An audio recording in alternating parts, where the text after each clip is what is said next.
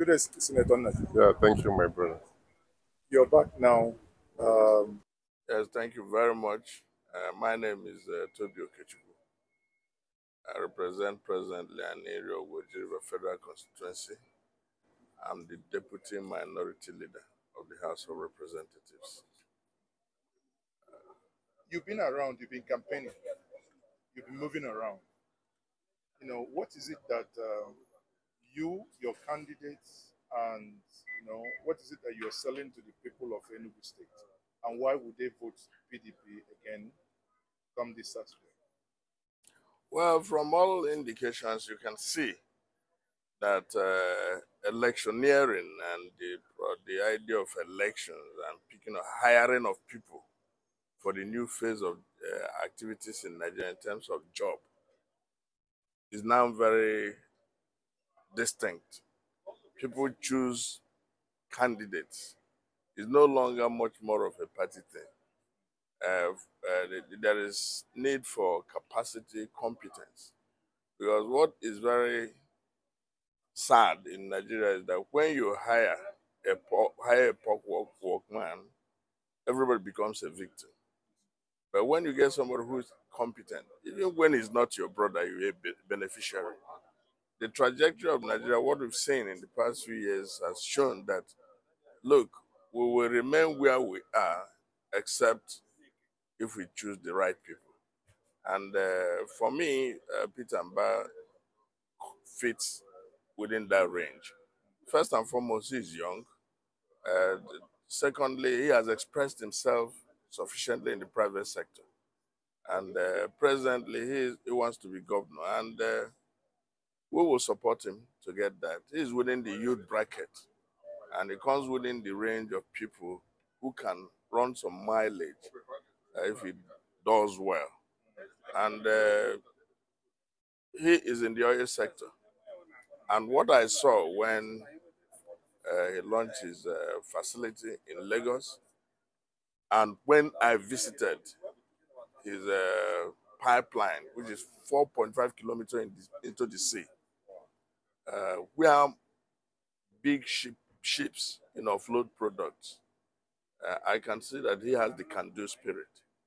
Actually, people think that, oh, it's just distribution of petroleum products, but there is something distinct, a defect occurred in Nigeria. You know, when we are talking about demurrages, a mothership coming in, discharging to uh, daughter ships, you know, smaller ships, and they'll now bring to the jetties. What did he do? He cured that. He developed a floating jetty, you know, deep into the sea that can take very big ships. In other words, he solved a deficient uh, a problem in Nigeria. He cured the deficiencies and made it possible for Nigeria to save money in terms of demurrage, He made it possible for Nigeria to save money in terms of the overhead they incur in importing petroleum products. So it's a very, very, uh, I mean, major intervention. And except somebody with deep thinking that can do that. Now, it's, you know, many would argue that um, the PDP, your party, in the last eight years hasn't done uh, so much for the people of Enugu and um, in that line of argument, what would you then tell people? Why would they vote? you know, why would they vote PDP now that the uh, governorship election is around the corner? Well, what is very clear is that each individual who is at the hem of our face brings a different uh, dimension to government. Uh, you saw when uh, Chimaroke was there, there was a different approach. Sullivan came, you know, it, it raised the level of gov governance, the quality, and everybody wanted to come home. Enugu became the regional capital it's supposed to be, one of the foremost cities. You know, nightlife, uh, you know, returned. Now, what you need is not somebody who is the color and, and content of one's character and competence expressed as elsewhere. This is not when you hire blindly. Well, if you are talking about what are the options? Each and every one of these individuals have been in PDP. Peter took a sabbatical for close to 16 years and he's back, and he has expressed himself somewhere. Any of these other candidates, their, their departure from PDP was just six months back. So what the the the, the I, I don't think that the hood makes the monk is the is the internal composition of a man that he can bring to bear in an office. So you're saying that the departure now means, uh, it, you know, the Ndenugu will be expecting a departure of what was happening, obviously, before this election, in oh. terms of governance style. Uh, exactly.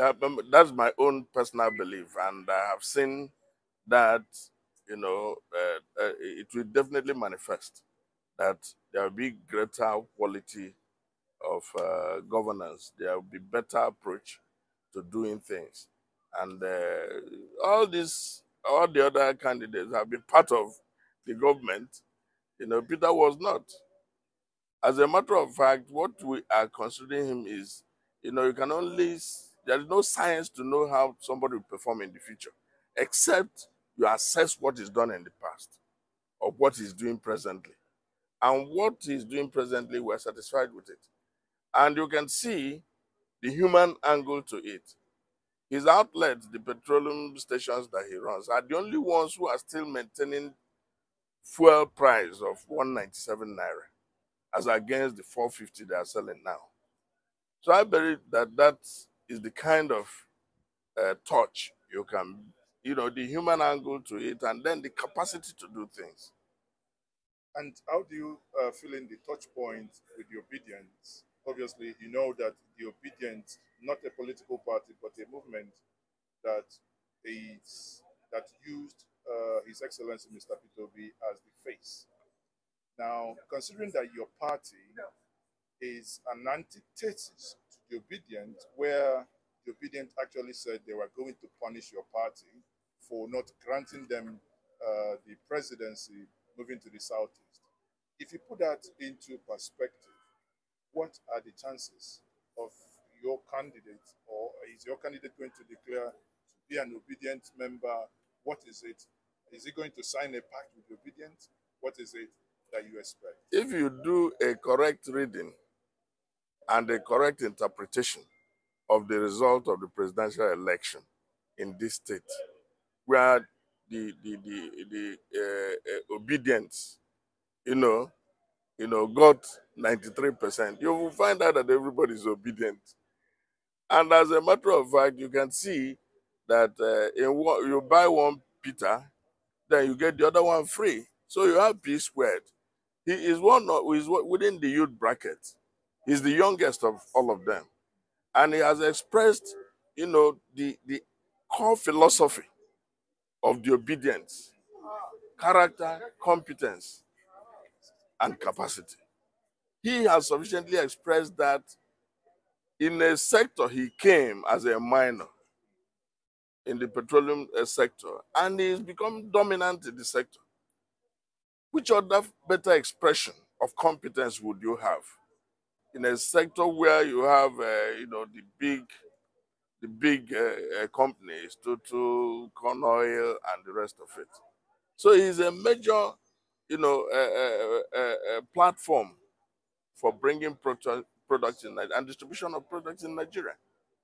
So if he could, he, I, I think he embodies much more than anybody the spirit and letter of the obedience because he's young, he's expressed himself as competent, and uh, he is not being passed of the old malaise. Okay. Now, as you know, my final question to you will be Obviously, you're not the one contesting, but you're campaigning for the person contesting. So I'm, I will be obliged to also ask to, that, to ask you this question, which is beyond Enugu, you can see that the Great Igbo nation is somewhat lacking in a leadership can, uh, that can organize the whole of Ndigbo. Do you see that capacity in your candidate to organize Ndigbo if elected governor of Enugu State? Well, if you want to capture the real quality and the essence of Peter's aspiration, just run through his manifesto. If you read it like a Bible, you find out that there's an economic blueprint for the East. And that intertwined with his politics will launch us at the federal level. Because you just need people. Recruitment is very important If we make the mistake, it will be a generational one. But if we get it right, the new bunch of Igbo leaders that will emerge are people of his generation who will express it sufficiently in economics, in politics, intellectually. So I think that with him, he is talking about a blueprint that will integrate the East to make it economically potent, I mean, and a potent economic force. And you see, uh, what in his manifesto, he said that Enugu is not just the capital of Enugu State, it's the capital of Eastern region, it's the capital of Old Eastern region. And it should be reflect both in conduct, both in expression, both in development. It should reflect that. And that is how he would ordinarily galvanize a new generation of Igbo leaders that will reflect the views of the obedience, that will reflect their philosophy. And uh, in all, from all indications, I think that we just need a proper scrutiny of those we hire for the job. Otherwise, we are victims for the next uh, few years. You can see things, you know, you must use your head. Whereas your heart is telling you something, you must also use your head. You know, somebody, something tells me that out of passion, out of frustration, we hired the, the, the we, we, we hired a president, you know, eight years back. At the end of the day, the man in Katsina, where 13 local governments are occupied by bandits, and the man is are equally are suffering equal measure. So it doesn't really matter where you come from. But once you get somebody who is fit for purpose, you are there. So I am saying, and I'm also uh, pleading, and also asking our people that whereas we might be passionate, we must also use our heads to hire correctly so that we will not, you know, suffer any bias remorse. Thank you very much, Honorable Toby. Thank you, Njenje. I appreciate. And you're walking around campaigning for the governorship election. Uh, obviously, I do not I do not need to ask you who you are supporting. It's then very obvious. How has it been so far? Well, uh, th thank you very much for having me. Uh, it's been going very, very well. All of us, we have come down all the way from Abuja to make sure that our candidate uh, Dr. Peter Mbah win this uh, election on Saturday. We have been touring various uh, communities and even the indigenous that we, like some of us that are that we are living in the township. So we have been meeting with them to convert for vote to make sure that PDP take all the way on Saturday's uh, election. And we are very, very confident that we are going to win that uh, election.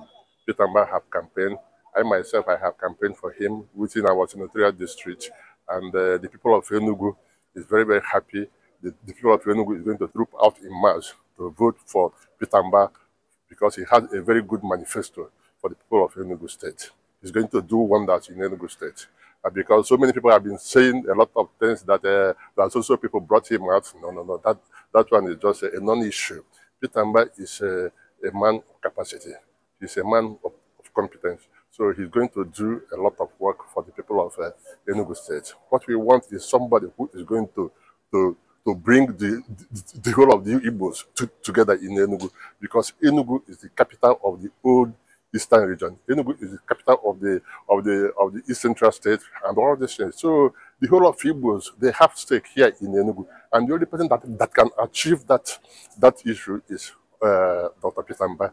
He's going to bring the whole of Igbos together in Enugu and develop Enugu State to be the capital for the whole of Igbos.